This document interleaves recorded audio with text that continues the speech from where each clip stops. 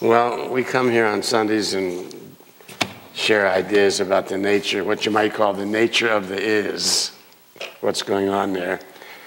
And that said, let me move with absolute faith to an understanding that the passage of time since our last connection has been a gentle occasion of relative tranquility, a few honest chuckles, and a song or two sung in joyful remembrance that you are a well loved, deeply appreciated participant in this incredibly rich adventure that we call unity.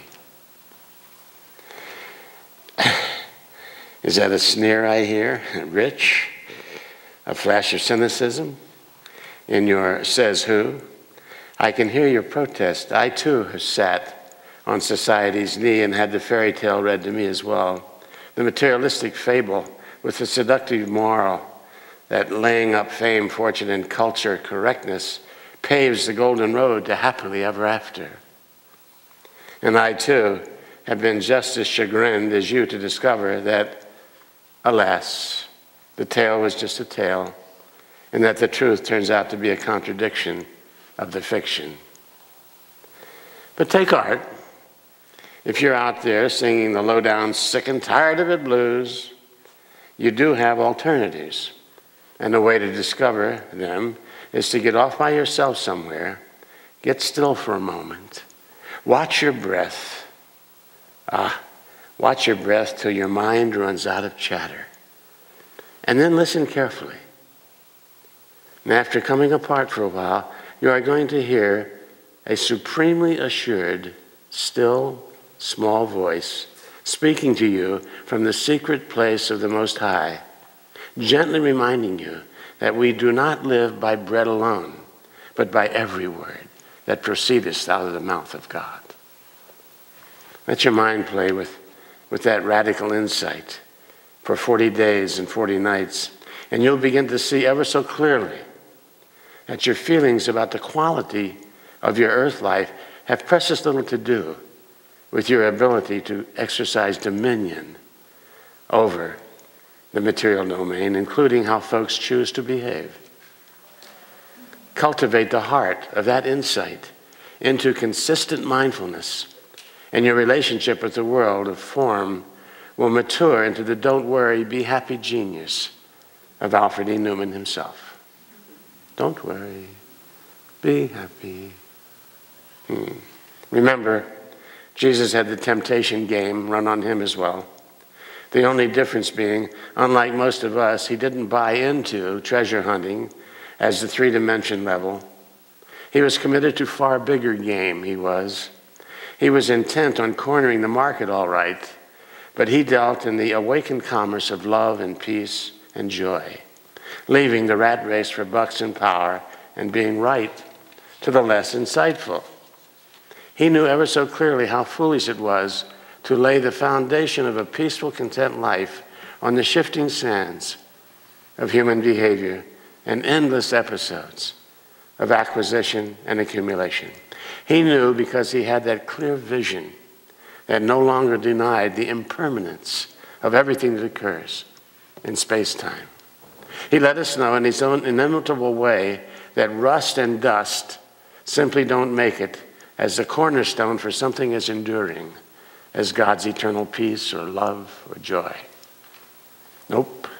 Man shall not live by bread alone, and neither shall the ladies. Mass ignorance of the wisdom contained in that revelation explains why so many of our brothers and sisters aren't living in any kind of truly fulfilled sense. Especially, it seems, in the highly industrialized, super competitive, authoritarian cultures that have bread and morality coming out of their ears. And I would have to acknowledge yes, society is just like ours. Even a cursory look at our society quickly reveals that in addition to a dazzling array of stuff and a highly refined uh, codes of religious, social, political, and legal and economic correctness, we must also acknowledge intolerable levels of poverty, violence, illiteracy, addiction, disease, and lest we forget lethal levels of intolerance. Cruel bigotry, justified by a child of God's skin color, ethnic origin, religion, gender, sexual orientation, economic class, political persuasion, age, ad infinitum, ad nauseum.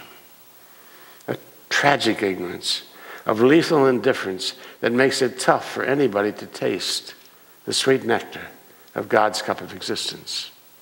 It is a rare event, indeed, to encounter a being who is not living a life of quiet desperation, hauling around a heart playing out its drama in a theater of unfulfilled longings. Billions of God's children dealing with hearts full of fear and hostility and disappointment, seeking refuge from their despair and distractions like alcohol, Prozac, cocaine and pot and caffeine and nicotine and work and sex and TV and daily hunting and gathering excursions into the outback of the local mall. And all of it, all of it efficiently accounted for in the medical calculus. Today's healthcare community is quietly going nuts.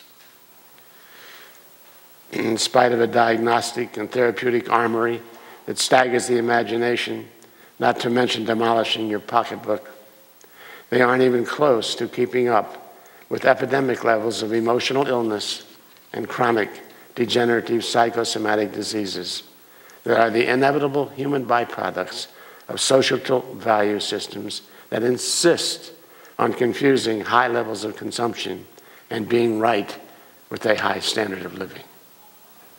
Could it be an unconscious, intuitive recognition of the foolishness of that mentality that instructed the economic mind to label the national product gross? the most recent guesstimate of the Surgeon General's office, for example, puts about 70 million Americans in the potentially hypertensive category. And that's about right on with the straw poll that I take occasionally at our local Kmart's free pressure checker. About one out of five or six of the folks I see checking it there hit the digits at better than 150 over 100. That's a lot of folks in this country whose bodies are telling them something.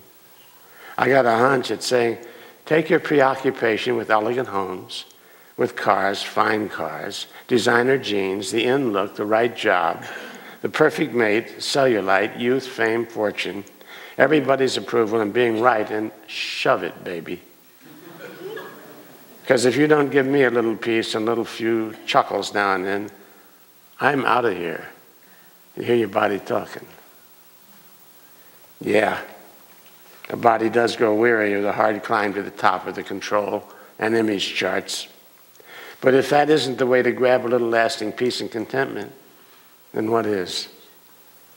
What do we have to do to find a little peace, some harmony, and a healing portion of joy?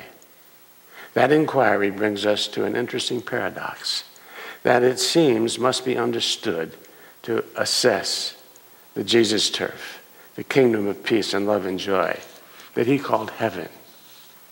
The truth of the matter seems to be suggesting that we don't have to do anything to find a little peace and contentment.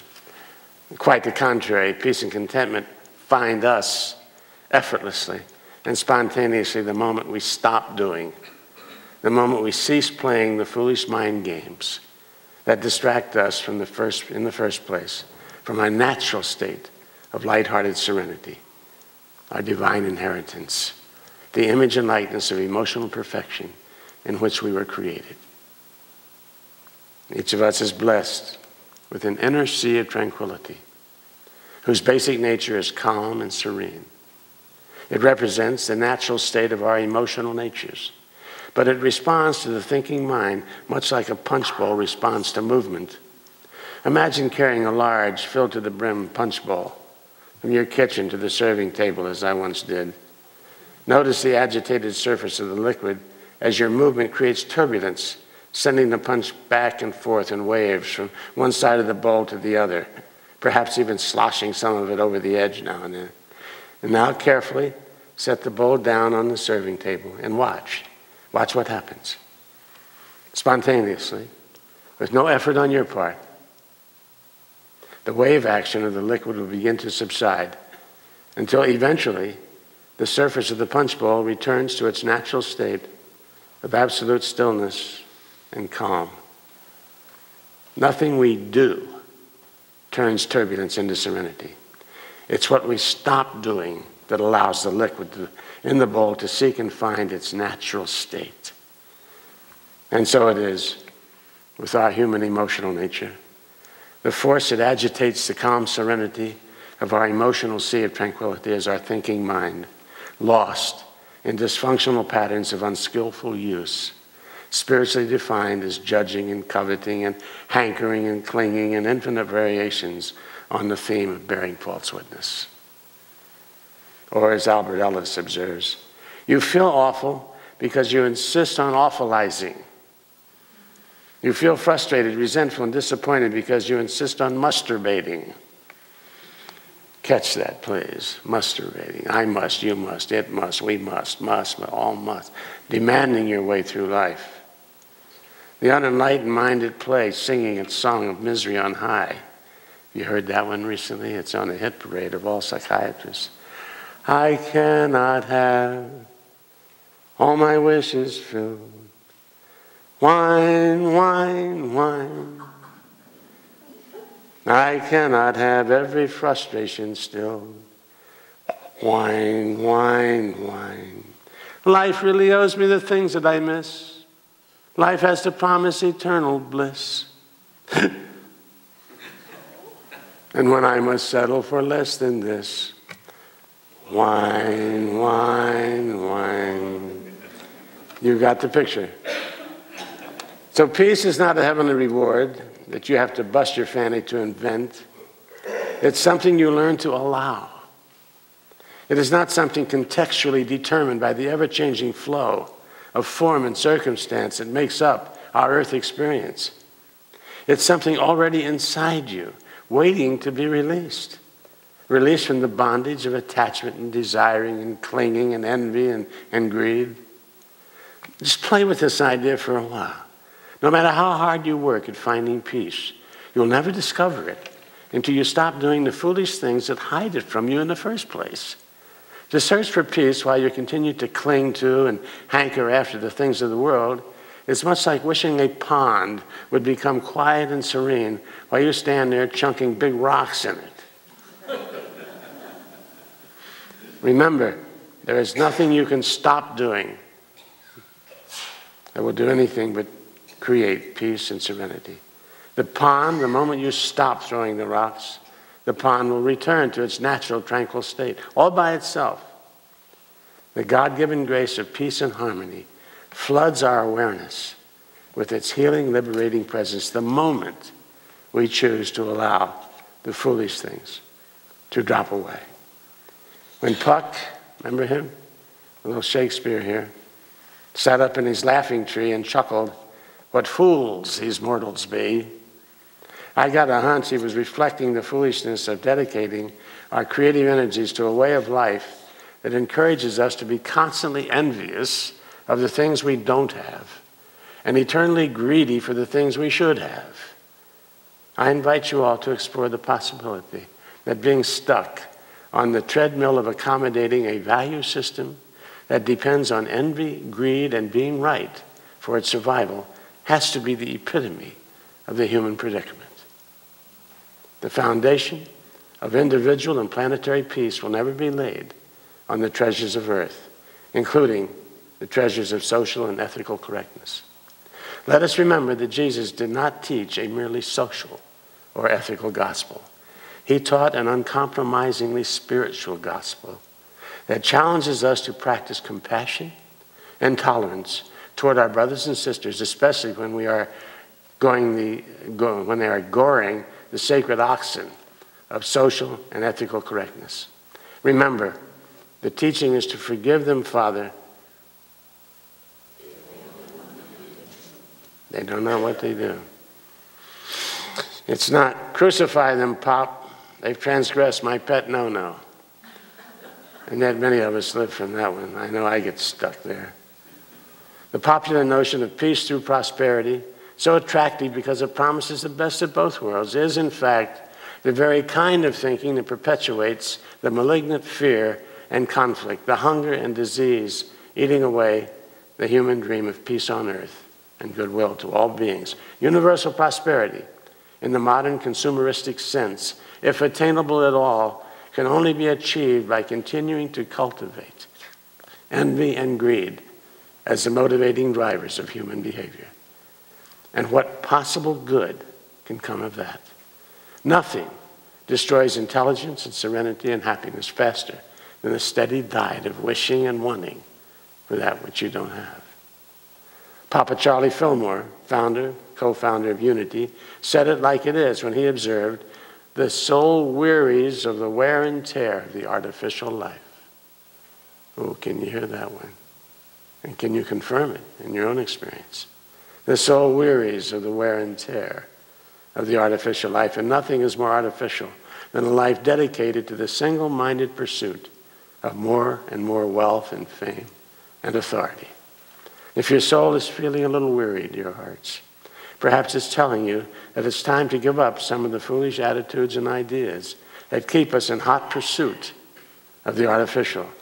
And I'm thinking that we've come to a point in our evolutionary journey where it can be fairly said that no one is truly dedicated to the quest for peace and planetary harmony unless she or he is working primarily for the restoration of wisdom to the way they live and embrace and thus encourage as a planetary model.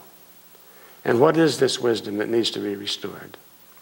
It's the wisdom of Jesus saying, Man does not live by bread alone. It is the wisdom of Gandhi observing, Earth provides enough to satisfy everyone's needs, but not enough to satisfy everyone's greed. It is the discriminating awareness that can tell the difference between real needs and artificial wants and chooses the joy and quiet dignity of voluntary simplicity. And it's the courage to give up the familiar for the unknown, the old wine for the new wine, the treasures on earth for a yoke that is easy, a burden that is light. The only way to travel, folks. Hitch your life to a way of living that measures human worth by the sparkle in your eye, the song in your heart, and the wisdom to say, Thank you, Father, for the blessing the moment contains. Walk that road for a while, and you'll never question the richness of your life again. You'll know what Thanksgiving is all about, too. Pure, free spirit, attached to nothing, celebrating everything. Yeah, it's rich. Doesn't get any richer than that. Bless you, and thank you for sharing that journey with me. God love you.